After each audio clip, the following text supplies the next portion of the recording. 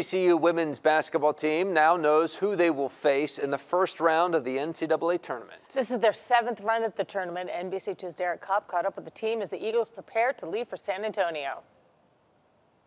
After the disappointment of having their season shut down a year ago, the Eagles got to celebrate last night as they learned they will be an 11 seed in the NCAA tournament and will face 3 seed Michigan, beginning a tournament run that is sure to be unlike anything we've seen before. On Monday night, after 26 wins, 25 in a row, two top 25 rankings, and an ASUN tournament title.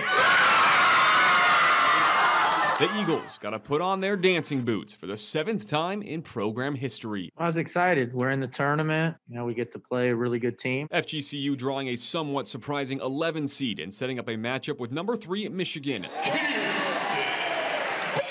Team Ohio native and ASUN Player of the Year, Kierstan Bell, is already plenty familiar with. I think this is going to be a great matchup. I'm glad we're playing them. Uh, you know, being from Ohio, we never liked Michigan, so I'm very excited.